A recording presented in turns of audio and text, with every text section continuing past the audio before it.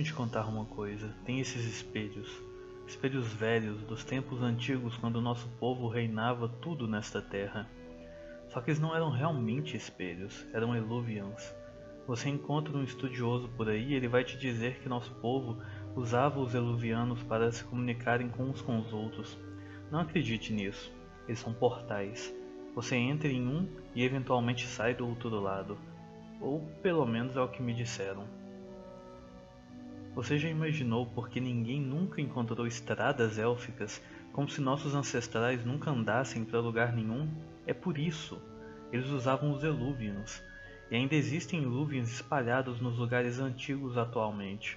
Alguns até funcionam, e Briala sabe onde eles estão. Se pusermos nossas mãos neles, nós teremos uma vantagem que nenhum humano poderia esperar enfrentar: a habilidade de nos movermos por metade de Tedas em um segundo. Os Eluvianos são os antigos espelhos mágicos do antigo Império Élfico de Arlatan. Na época, os elfos não construíam estradas entre suas cidades, mas usavam esses itens mágicos para se comunicarem e viajarem entre grandes distâncias instantaneamente. Com a queda de Arlatan e a formação do Véu, muitos eluvianos foram destruídos ou perdidos, mas ainda assim muitos sobraram até os dias atuais, espalhados entre os locais mais estranhos e escondidos. Porém, a maioria destes que sobraram parecem ter sido desativados. Enquanto muitos elfos e mesmo alguns magisters do Império de Tevinter já tentaram reativar os, Elu os Eluvians, apenas um pequeno número de pessoas parece verdadeiramente entender como esses espelhos funcionam. Ao invés de simplesmente se conectarem entre si, os Eluvianos conectam a um mundo de Tedas ao reino separado, que fica além do imaterial, chamado de Encruzilhada. Nós nos deparamos com esse reino pela primeira vez em Dragon Age Inquisition, quando Morrigan nos leva até lá.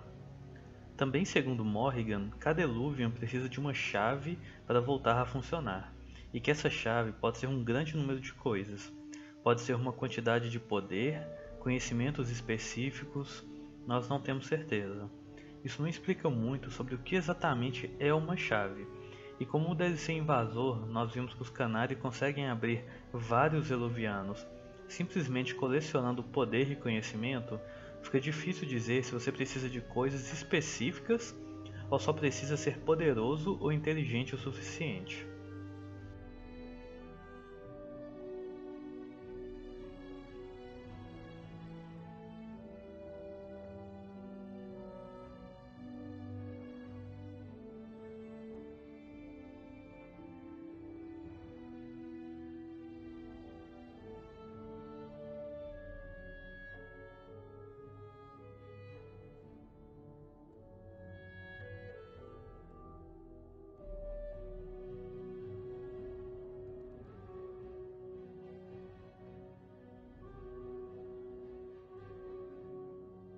Não é o imaterial.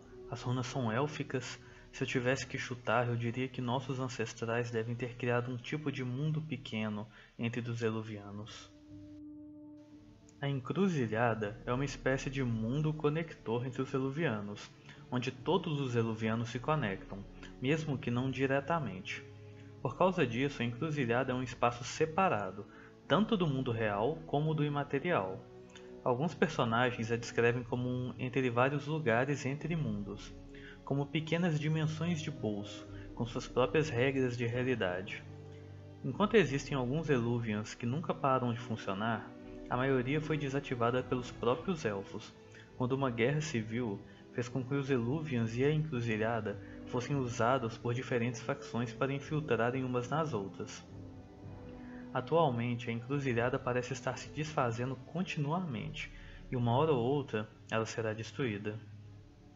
Aqui vale também mencionar que enquanto humanos, anões e canares veem a encruzilhada como um lugar estranho, desconfortável e repleto de árvores mortas, com tons de cinza em tudo, elfos consideram um lugar um local reconfortante, onde o céu é sempre colorido com dezenas de cores diferentes e as árvores estão todas vivas e cheias de folhas coloridas.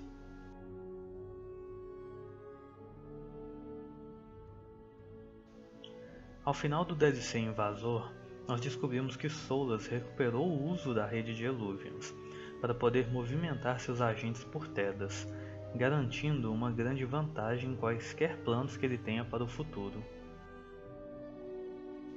Eu agradeço a todos que assistiram até aqui, um agradecimento especial ao Ashkun, que se tornou meu primeiro patrono, e até a próxima.